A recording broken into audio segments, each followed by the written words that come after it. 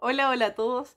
Bienvenidos a una nueva receta para este canal. El día de hoy vengo con una receta, pero de verdad está mundial. está muy, muy buena. Hoy día vamos a estar haciendo marraquetas. Marraquetas, pan francés, pan batido o de la manera más ciútica que ustedes le quieran decir, da lo mismo. Es el mismo pan y sigue siendo igual de delicioso. Tengo que decirles que mi máquina está muriendo.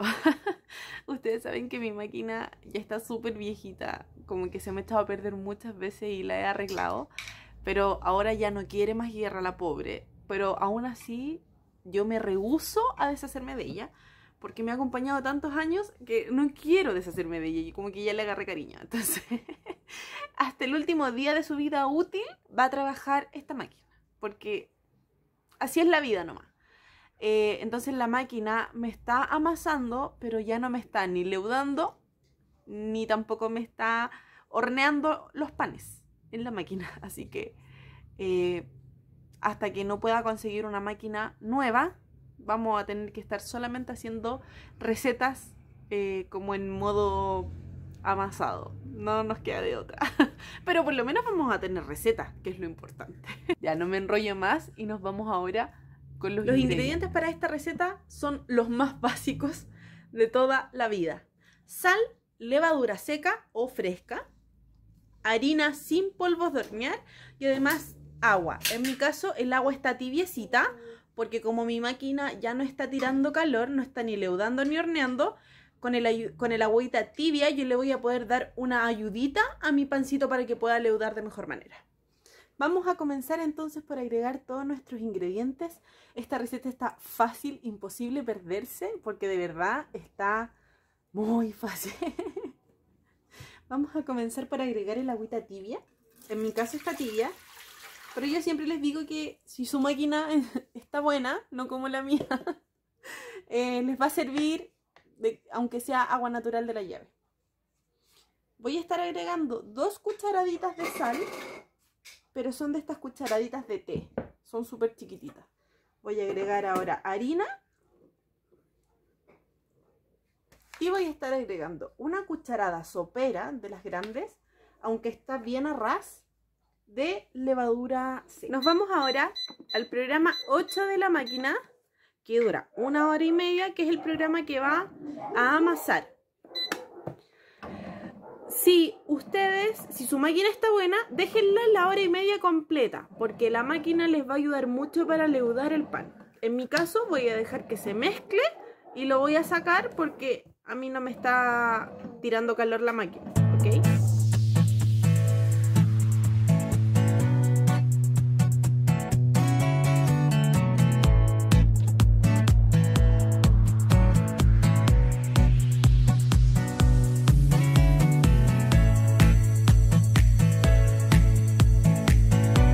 mi masita. Es una masa bien elástica, miren.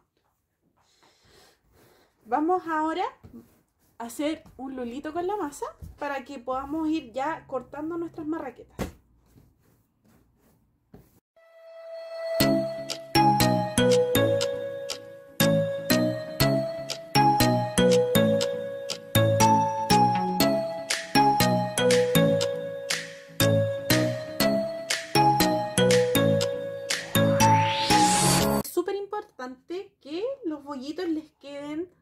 Un número par. 2, 4, 6, 8, 10. Aquí yo tengo mi lata del horno eh, ya con aceite, que este es un aceite en spray. Y me voy a poner a acomodar mis pancitos en la lata. La idea es que ahora tomemos dos bollitos de los que tenemos. Miren bien. voy a intentar hacer lo más lúdica esta parte para que puedan entender. Tenemos que apretar por aquí por los laditos, cosa que quede un poquito alargada, e intentar medio medio juntar al medio. ¿Y cómo lo vamos a lograr? Haciendo eso. Hacemos eso, aplanamos, aplanamos bien. Para que quede así. Y una vez que está así, nos vamos a la lata que ya está previamente aceitada.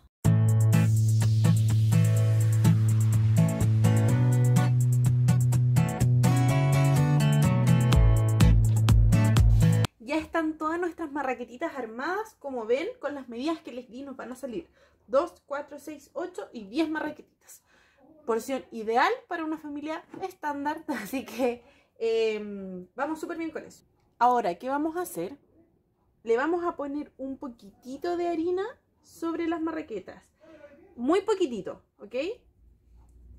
Le vamos a poner un poquitito de harina. Es una espolvoreada muy suave y se la vamos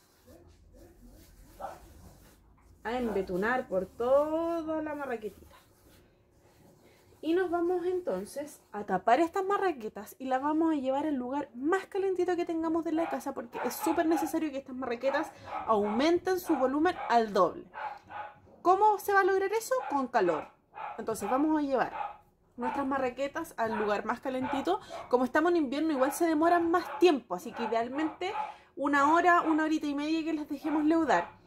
Eh, cerquita de la estufa, ojalá, o cerquita del horno si es que tienen el horno prendido, o algo así, pero idealmente que les llegue harto calorcito eh, para que puedan subir súper bien. Y después de que ya estén leudadas, les vamos a poner la típica formita que va al medio, partida a la mitad, que es la forma típica de la marraqueta para después poder irnos al horno. Así que nos vemos más o menos en una horita, una horita y media más, dependiendo cómo vayan estas marraquetitas.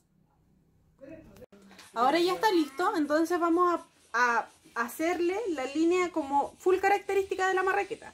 Yo voy a estar utilizando esto, pero con lo que tengan. Y así, ahora ya están listas. Em, vamos a dejar leudar otra vez por otros más o menos 30 minutitos y después nos vamos al horno.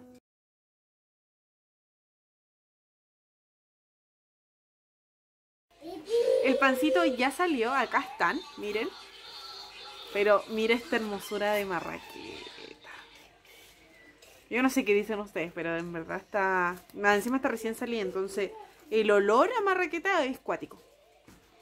Les voy a partir una para que puedan ver.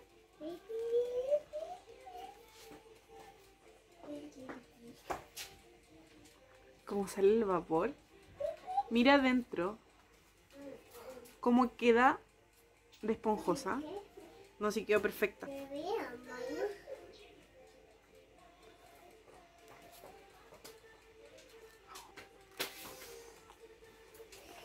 Y de sabor